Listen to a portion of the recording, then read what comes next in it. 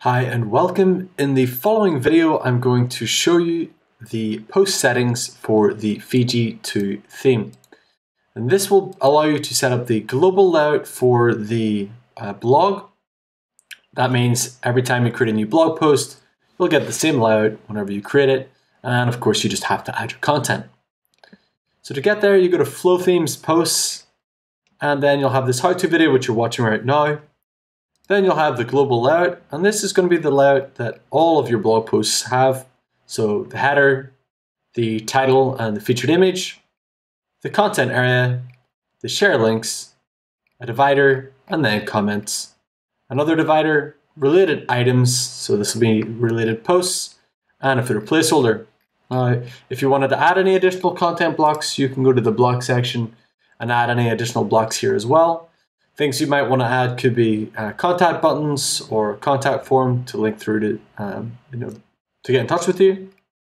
Um, you may also uh, want to include you know FAQ blocks, featured links, um, or anything else that you believe is going to add value, even a little about you section or something like that. But something that really creates call to action down towards the bottom of this page. This related items is really good, uh, also great for internal linking, and that's why we have it there.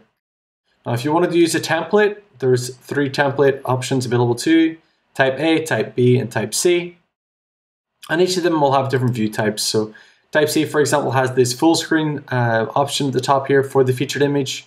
Uh, type B will have um, the just regular title, no uh, image. And then type A, of course, has the image with the uh, text over it, as you can see here.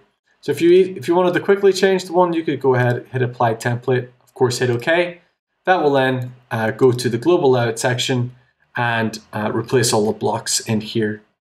Uh, item title 2 in this area and the other item title areas, you may want to also turn off the uh, categories and you may also want to turn off the dates. So if that's the case, come into this item title area, disable the date, and maybe you wanted to turn off the featured image, you can disable the featured image as well or and set the height for that if you want to keep it and set a fixed height and disable the categories. Just a little trick there for you and one that's useful and that's often asked. You can also set the featured image height for mobile. 300 pixels is, is a good option. Between 250 to 300 pixels should be more than enough for your uh, mobile devices.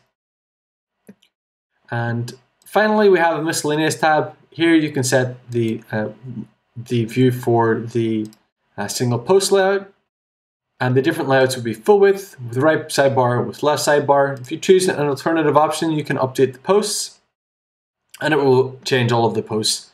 Uh, if you uh, don't change that and you just set it like this and hit update, then it will, um, of course, just uh, apply to the future posts. It won't actually make any uh, updates to those.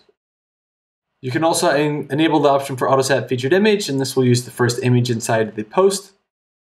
You can also choose the option to have responsive images uh, for devices, and that's a great option uh, if you want to have uh, smaller image sizes for your mobiles, and it will help it load faster. And you can also set the distance between the post images. So the distance between each image inside the blog post is currently set to 10 pixels. You can increase that or decrease that to suit your own needs. And that's the post settings area, folks. It will apply to a global level.